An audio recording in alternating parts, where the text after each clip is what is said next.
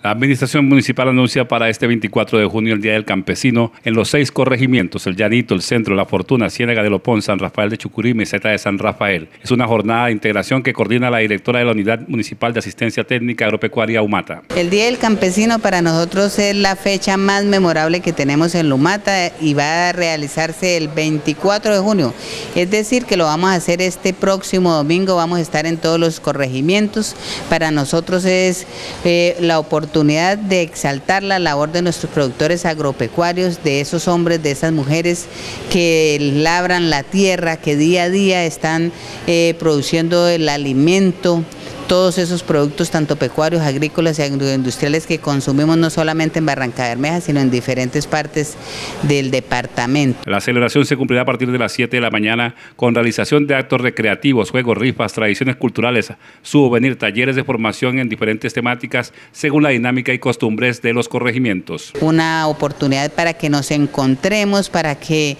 tengamos la posibilidad de partir un día maravilloso con encuentros culturales, deportivos, vamos a recordar esos juegos ancestrales, vamos a hacer eh, carrera en costalados, concursos para niños, también tendremos la oportunidad de degustar eh, un plato típico de tener una hidratación suficiente para que ese día pues estemos totalmente activos, eh, de pronto un acompañamiento musical en alguno de los casos